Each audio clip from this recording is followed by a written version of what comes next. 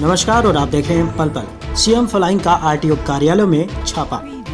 मुख्यमंत्री के आदेशानुसार पूरे प्रदेश में आरटीओ ऑफिसों को खंगाला जा रहा है। फ्लाइंग द्वारा पूरा रिकॉर्ड भी छानबीन किया जा रहा है। वहीं छापे के दौरान नदारद मिले कर्मचारियों पर भी गाज गिरेगी। सुबह 10 बजे ऑफ़िस में केवल स्वीपर के अलावा और कोई नहीं मिला।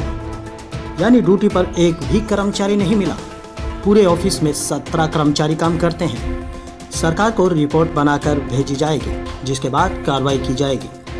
पल पल सिरसा से अमर सिंह जानी की विशेष रिपोर्ट। प्रदेश के विभिन्न विभागों में आज जनता के कार्यालय कर्मचारियों द्वारा सही समय पर पूरे हों, यानी जनता के सभी काम कर्मचारियों द्वारा पूरे किए जाने चाहिए। इसी उद्देश्य को लेकर के मुख्यमंत्री फ्लाइंग ने आज प्रदेश भर में आरटीओ जिला मुख्यालयों पर छापा मार कार्रवाई की। तथा जनता से आरटीओ कार्यालयों की कार्य प्रणाली के बारे में जानकारी भी ली।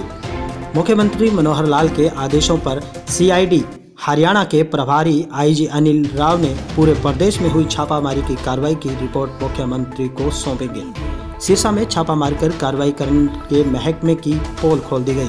आपको बता दें कि केवल एक स्वीपर ही उस कार्यालय में मौजूद था, जबकि यहाँ पर सत्रह कर्मचारी काम करते हैं। सिरसा में आरटीओ कार्यालय की जाँच सुबह नौ बजे शुरू हो चुकी थी, जिसमें मुख्यमंत्री के उड़न दस्ते ने आरटीओ कार्यालय सिरसा में पहुंचकर कर्मचारियों व अधिकारियों की हाजिरी की जाँच भी की। वह विभाग से संबंधित विभिन्न दस्तावेजों को भी चेक किया। वहीं मुख्यमंत्री फ्लाइंग के इंस्पेक्टर जोगेंद्र सिंह ने बताया कि आज की कार्रवाई में सफ़ाई कर्मचारी के अलावा अन्य कर्मचारी ठीक 9 बजे कार्यालय नहीं पहुँचे, जबकि यहाँ पर 17 कर्मचारी हैं। छापे मार्च कार्रवाई शुरू करने के बाद विभाग के आठ कर्मचारी काफ़ी देर बाद पहुँचे। सारे मामले की रिपोर्ट बनाकर उच्च अधिकारियों को भेजी जाएगी। इसके आधार पर अनुपस्थित कर्मचारियों पर विभागीय कार्रवाई भी की जाएगी। आप देख रहे हैं पल पल की एक खास रिपोर्ट। जी, सुबह नौ बजे आया था जी, टैक्स भरने के लिए जी। सुबह नौ बजे का खड़े हूँ जी, अब ग्यारह, साढ़े ग्यारह हो चुके हैं जी। टैक्स भरने खतरा है जी। हाँ जी टैक्स भरने के लिए आए थे जी पिकअप है मेरे पास। और हम नौ बीस पे आया हूँ जी यहाँ मैं। तो अभी, अब जाएँगे तो अब, जब हम टैक्स नहीं भरते तो हमें जुर्माना बहुत लगता है जी। तो यहाँ जैसे मैंने गाड़ी की पासिंग करवानी थी जी। तो मेरे को चार चक्कर इन्होंने मरवाए हैं जी। कभी तो बोलते हैं भी आपकी ये डॉक्यूमेंट कम है जी। कभी बोलते हैं, ये कम है। ये कम- कभी बोलते हैं आप जिसके नाम गाड़ी है, उसका बंदा वो लेके उसको साथ लेके आओ। अब मैंने गाड़ी पासिंग करवानी थी तो मेरे को इन्होंने ये बोला कि आपका जो टैक्स है, वो आपका जो पहले कहीं आपने गंदा करवा रखा था, उसको फेल करवाओ। यहाँ से फिर मेरा टैक्स गंदा पेड होगा। फिर पासिंग के लिए इन्होंने मेरे को तीन चक्कर कटवाए, जिससे मेरे को पासिंग की जो लेट फ़ीस है मेरे को साढ़े चार सौ रुपये मेरी लेट फ़ीस लगी, वो मैंने खुद भरी है जी।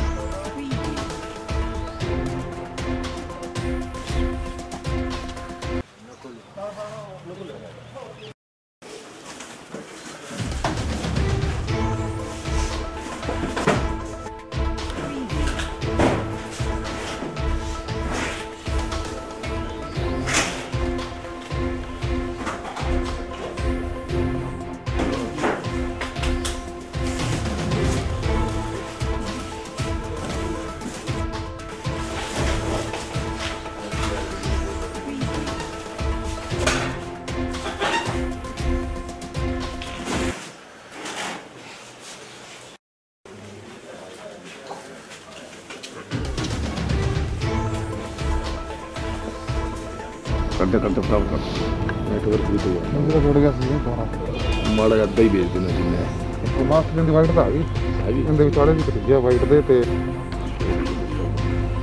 पण आमचा फोन वगैरे होतो पण आमचा फोन आला तो बी बिल्ला फोन करी